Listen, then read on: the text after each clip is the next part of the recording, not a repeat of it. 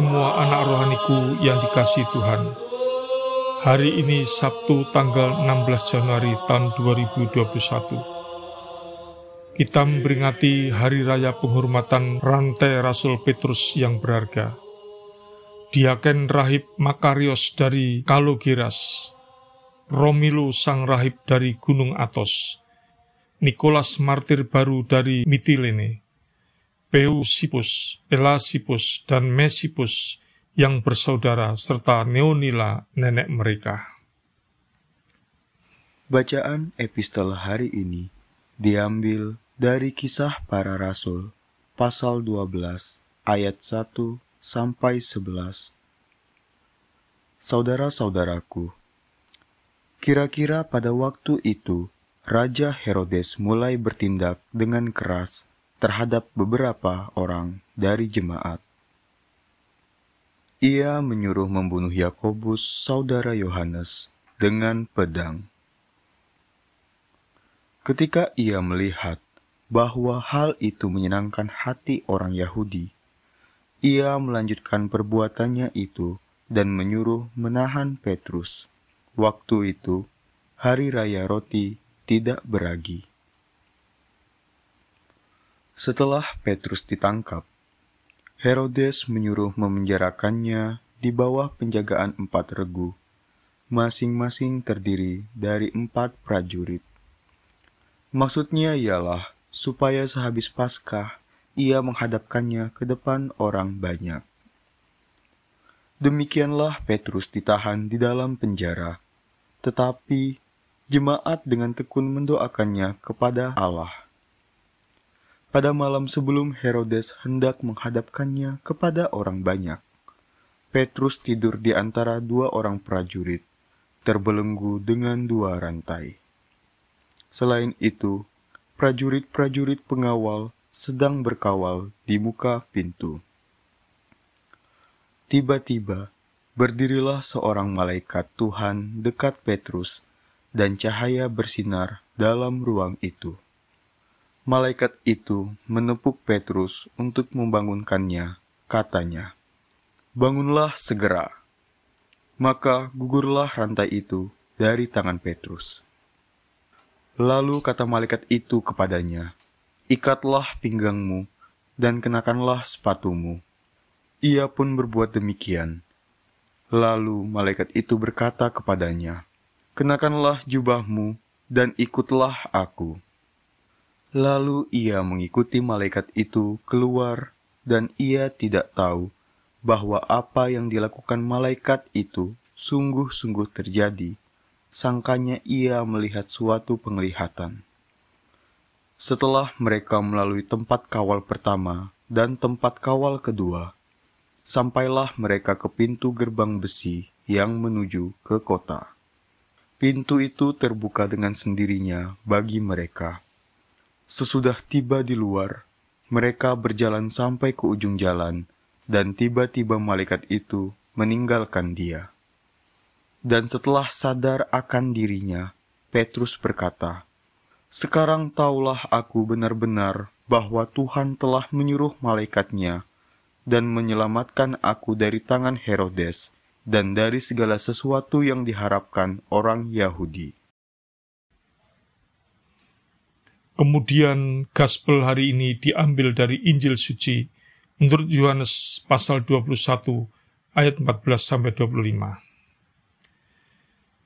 Itulah ketiga kalinya Yesus menampakkan diri kepada murid-muridnya sesudah ia bangkit dari antara orang mati. Sesudah sarapan Yesus berkata kepada Simon Petrus, Simon anak Yohanes, apakah engkau mengasihi aku lebih daripada mereka ini? Jawab Petrus kepadanya, Benar Tuhan engkau tahu bahwa aku mengasihi engkau. Kata Yesus kepadanya, Gembalakanlah domba-dombaku. Kata Yesus pula kepadanya untuk kedua kalinya, Simon anak Yohanes, apakah engkau mengasihi aku? Jawab Petrus kepadanya, Benar Tuhan engkau tahu bahwa aku mengasihi engkau. Kata Yesus kepadanya, Gembalakanlah domba-dombaku.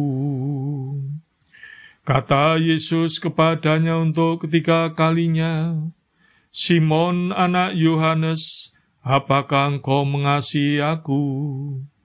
Maka sedih hati Petrus karena Yesus berkata untuk ketiga kalinya, Apakah engkau mengasihi aku? Dan ia berkata kepadanya, Tuhan, engkau tahu segala sesuatu. Engkau tahu bahwa aku mengasihi engkau. Kata Yesus kepadanya, Gembalakanlah domba-dombaku.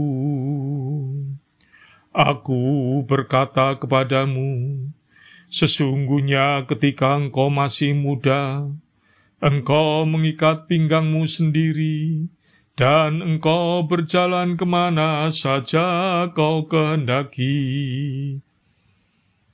Tetapi jika engkau sudah menjadi tua, engkau akan mengulurkan tanganmu, dan orang lain akan mengikat engkau dan membawa engkau ke tempat yang tidak kau kehendaki. Dan hal ini dikatakannya untuk menyatakan bagaimana Petrus akan mati dan memuliakan Allah.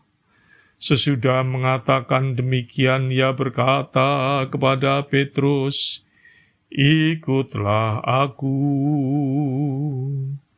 Ketika Petrus berpaling, ia melihat bahwa murid yang dikasih Yesus sedang mengikuti mereka, yaitu mereka yang pada waktu mereka sedang makan bersama duduk dekat Yesus, dan yang berkata, Tuhan, siapakah dia yang akan menyerahkan engkau? Ketika Petrus melihat itu, ia berkata kepada Yesus, Tuhan, apakah yang akan terjadi dengan dia ini?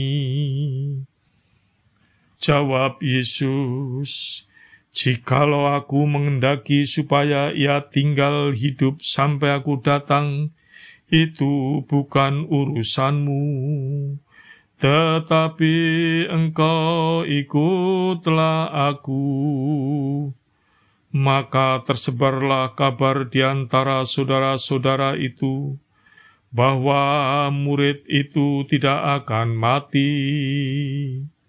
Tetapi Yesus tidak mengatakan kepada Petrus bahwa murid itu tidak akan mati, Melainkan jikalau aku mengendaki supaya ia tinggal hidup sampai aku datang itu bukan urusanmu. Dialah murid yang memberi kesaksian tentang semuanya ini, dan yang telah menuliskannya, dan kita tahu bahwa kesaksiannya itu benar. Masih banyak hal-hal lain lagi yang diperbuat oleh Yesus. Tetapi jikalau semuanya itu harus dituliskan satu persatu, maka agaknya dunia ini tidak dapat memuat.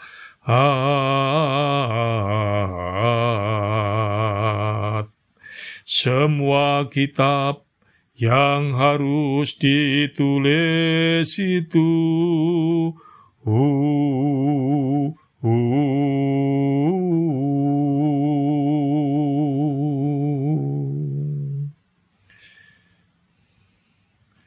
pada masa para rasul masih hidup, mereka dengan hati yang membara semangat melayani Tuhan. Meskipun banyak rintangan menghadang, baik secara alamiah, misalnya cuaca yang tidak bersahabat, maupun secara geografikal, banyak ditemui area yang sulit dijangkau. Mereka tetap menerjang-terjang tanpa menghiraukan keselamatan dirinya.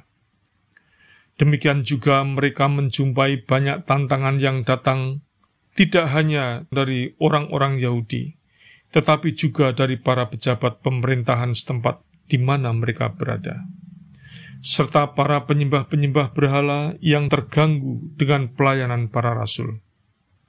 Mereka tetap maju tak gentar, berjuang mewartakan kabar sukacita tentang Yesus Kristus Sang Juru Selamat dunia sosok Petrus pada waktu Yesus mengalami aniaya. Dia sempat tiga kali menyangkal bahwa dia bukan murid Yesus. Namun dia sadar kemudian bertobat. Selama 40 hari penampakan Yesus, Yesus berjumpa dengan Petrus kembali dan bertanya kepadanya, Apakah engkau mengasihi aku? Pertanyaan ini diulang sampai tiga kali dan Petrus menjawab dengan kesungguhan hati bahwa dia mengasihinya. Pertanyaan Yesus kepada Petrus sesungguhnya untuk menegaskan komitmen Petrus setelah pertobatannya karena telah tiga kali menyangkal Kristus. Dalam bacaan epistel hari ini, yang diambil dari kisah para rasul pasal 12 ayat 1 sampai 11. Petrus membuktikan kata hatinya yang datang dari nurani terdalam untuk tetap mengasihi Kristus dalam segala situasi dan kondisi. Itulah sebabnya kita melihat bagaimana Rasul Petrus yang ditangkap oleh Raja Herodes, dibelenggu dengan rantai dan dipenjara dengan kawalan yang ketat. Namun dia tidak jerih karena dia mengasihi Tuhan. Dia menghadapinya dengan tenang dan penuh percaya diri. Pasti Tuhan akan menolongnya memang Tuhan tidak akan pernah meninggalkan umatnya yang setia dalam melayaninya. Tengah malam, Tuhan mengutus malaikatnya untuk menjemput Petrus serta melepaskan dia dari penjara jahanam. Petrus akhirnya terbebas dari ancaman hukuman yang mengerikan. Peristiwa ini membuktikan bahwa kasih Allah selalu menyertai kehidupan setiap umat yang percaya kepadanya, serta yang mengasihinya. Hari ini kita memperingati penghormatan rantai Rasul Petrus yang berharga. Hal ini mengingatkan bahwa peristiwa Petrus yang ditangkap Herodes, dibelenggu dengan rantai dan penjara, bukanlah merupakan dongeng belaka, namun peristiwa yang real, faktual, dan sungguh-sungguh terjadi. Demikian kisahnya. Pada sekitar tahun 42, atas perintah Herodes Agrippa, Rasul Petrus dijebloskan ke penjara karena berkhotbah tentang Kristus Sang Juru Selamat. Dalam penjara, dia ditahan dengan dua rantai besi. Pada malam sebelum pengadilannya, seorang malaikat Tuhan melepas rantai ini dari Rasul Petrus dan membawanya keluar dari penjara. Orang Kristen yang mengetahui keajaiban ini mengambil rantai tersebut dan menyimpannya sebagai suatu kenangan yang berharga. Selama tiga abad, rantai tersebut disimpan di Yerusalem, dan mereka yang menderita penyakit dan mendekat kepada rantai tersebut dengan iman menerima kesembuhan. Patriark Juvenal diperingati setiap tanggal 2 Juli, menyerahkan rantai tersebut pada Ebdokia, istri kasar Theodosius muda. Dan kemudian beliau memindahkannya dari Yerusalem ke Konstantinopel sekitar tahun 437 atau 439. Ratu Evdokia mengirim satu rantai ke rumah untuk putrinya Evdokia atau istri Kaisar Valentinianus yang membangun sebuah gereja di Bukit Esquiline yang didedikasikan bagi Rasul Petrus dan menempatkan rantai tersebut di dalamnya. Terdapat pula rantai lain di Roma yang dengannya Rasul Petrus dibelenggu sebelum kesahitannya di bawah pemerintahan Kaisar Nero. Rantai ini juga ditempatkan di gereja. Setiap tanggal 16 Januari, rantai Santo Petrus dibawa keluar untuk dihormati oleh masyarakat secara umum semua anak-anak rohaniku yang dikasih Tuhan. Pernahkah suatu saat di masa hidup kita, dalam kita mengikut Kristus, kita menyangkal Kristus seperti Petrus? Coba sejenak kita masuk ke dalam relung hati kita untuk mencari dengan teliti. Apakah penyangkalan itu pernah terjadi? Jika detik ini Tuhan bertanya sampai tiga kali kepada kita, apakah engkau mengasihi aku sama seperti pertanyaan yang ditanyakan kepada Petrus? Apa jawaban kita? Perlu kita semua ketahui dan resapi bahwa jawaban kita sesungguhnya menentukan arah langkah iman dan kehidupan rohani kita ke depan.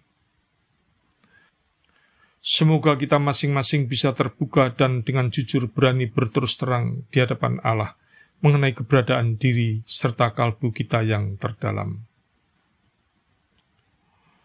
Marilah kita bertobat seperti Petrus kalau kita mendapatkan diri kita pernah menyangkal Kristus, meskipun hanya sekejap mata. Dan terus-menerus bersyukur, kemudian selalu tetap waspada dalam meningkatkan iman kita ketika kita menemukan diri kita tidak pernah menyangkal Kristus dalam keadaan apa pun juga. Kiranya Allah Sang Tritunggal Maha Kudus memberkati semua anak-anak rohaniku sekalian, di mana pun kalian berada, mulai dari sekarang dan selalu, serta sepanjang segala abad.